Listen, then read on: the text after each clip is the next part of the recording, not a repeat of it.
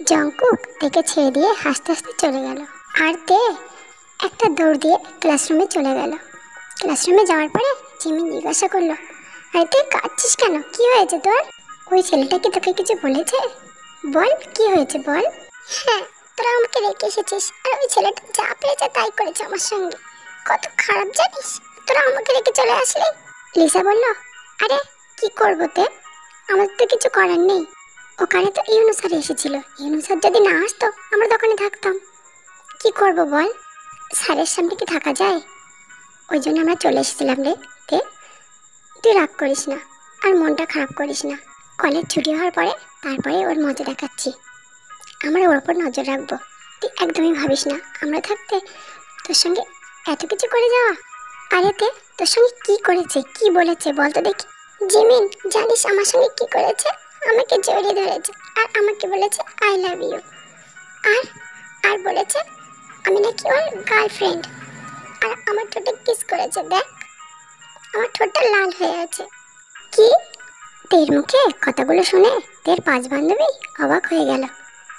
আর বলল, কি সর্বনাশতে এত কিছু হয়ে গেছে তোর সঙ্গে? এর মধ্যে ইউনো এসেছে ক্লাস নিতে। সবাই চুপচাপ হয়ে বসেছে। তেরা ছয় বান্ধবী কিছুই বলছে না। চুপ করে বসে আছে। ইউনু বলল তে তোমার সঙ্গে একটা কথা আছে। জেকে তোমার জন্য অপেক্ষা করছে। অফিস ঘরে যাও, তোমার আজ ক্লাস করতে হবে না। ইউনু স্যারের কথা শুনে তের পাঁচ বান্ধবী তের দিকে চোখ মোটা করে দেখতে লাগল। তে কিছুই বলতে পারছে না কি করবে।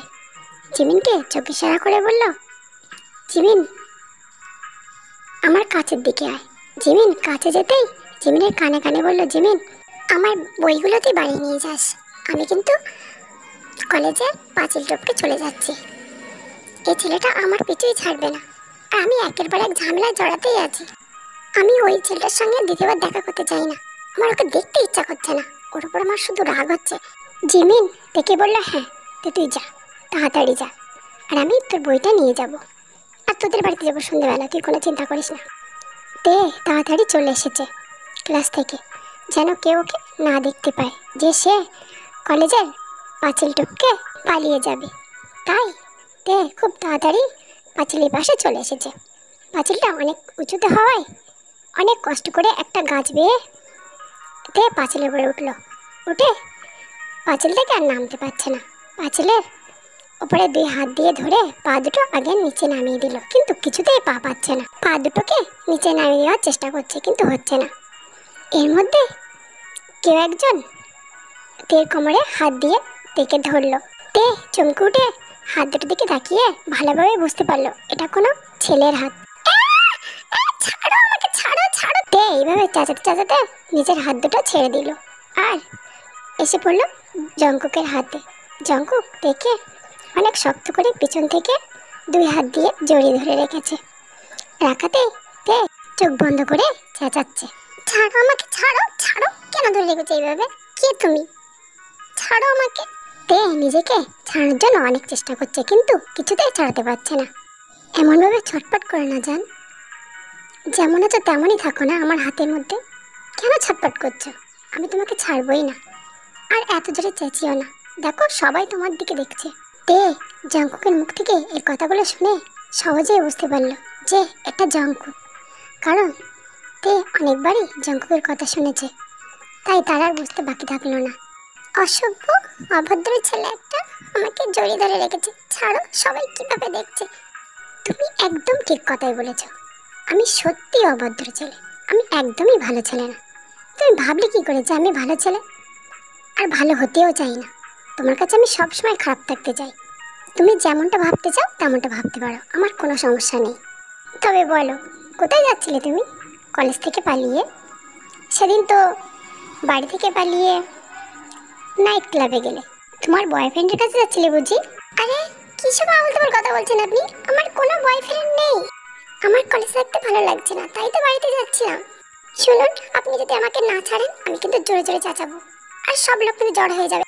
হ্যাঁ তুমি চেঁচাও। যত পারো চেঁচাও। তবু আমি তোমাকে ছাড়বো না। কে কোথায় আছো? বাঁচাও, আমাকে বাঁচাও। দেখো, গুন্ডাটা আমাকে নিয়ে গেল, আমাকে ধরে রেখেছে। ছাড়ছে না, বাঁচাও। টের চেঁচানোর মাঝে জঙ্কুক দেখে ঘুরিয়ে সামনের দিকে নিয়ে দেখে এক হাত দিয়ে কোমরটা চেপে ধরেছে। তে কিছুই বুঝতে পারল না। তার আগে জঙ্কুক এইভাবে তেকে ধরে রেখেছে। আর আর একটা হাত দিয়ে মুখ থেকে মাস্কটা খুলে ফেলেছে। মুখ থেকে মাস্কটা খুলে ফেলতেই যতগুলো লোক তের কথা শুনে এসেছিল, সবাই জঙ্কুককে দেখে আবার চলে গেল, কারণ সবাই বুঝতে পেরেছে যে এটা মাফিয়া কিং জিয়ন জঙ্কুক, যার ফলে কেউই আসলো না। তে তাদের দিকে তাকিয়ে দেখল সবাই চলে যাচ্ছে। তে সহজেই বুঝতে পারল যে জঙ্কুককে দেখে সবাই ভয় পাচ্ছে, তাই সবাই চলে যাচ্ছে। তাই সে ভাবলো যে অন্য কোনো উপায় বার করতে হবে, এর হাত থেকে ছাড়ানোর জন্য। এটা ভেবেই তে জঙ্কুকের হাতে জোরে একটা কামড় বসিয়ে দিল। তাতেও কোনো কাজ হলো না। জঙ্কুকের হাত থেকে রক্ত পড়ছে, তবুও জঙ্কুক থেকে ছাড়লো না। আরে, এ কেমন ধরনের ছেলে? এর গায়ে কি লাগে না নাকি? এ মানুষ না না অন্য কিছু? বেবি, তুমি সব লিমিট ক্রস করে ফেলেছো। এখন তোমার কি হবে? জাঙ্কুক দেখে কিছু না বলতে দিয়ে তের ঠোঁটে নিজের ঠোঁট মিলিয়ে দিয়েছে, দিয়ে তের ঠোঁটে অনেক জোরে বাইট করে দিয়েছে, যার ফলে তে চেঁচিয়ে উঠেছে।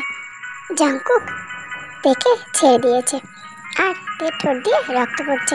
এটা দেখে জাঙ্কুক দেখে আবার জড়িয়ে ধরলো, ধরে তের ঠোঁটে আবার নিজের ঠোঁট মিশিয়ে দিল, দিয়ে কিস করা শুরু করেছে। তে অনেক ছাড়ানোর চেষ্টা করছে, কিন্তু ছাড়াতে পারছে না। প্রায় পাঁচ মিনিট পরে তের ঠোঁট ছেড়ে দিয়ে দেখে ছেড়ে দিল। ছেড়ে দিয়ে বলল, যাও, এবার তুমি বাড়িতে চলে যাও। আর গার্ডদের ইশারা করে বলল, তোমরা ম্যাডামকে বাড়িতে পৌঁছে দিয়ে এসো। তে গাড়িতে কিছুতে উঠতে চাইলো না। না চাওয়াতে জঙ্কুক তের হাত ধরে দেখে নিজের গাড়িতে তুললো।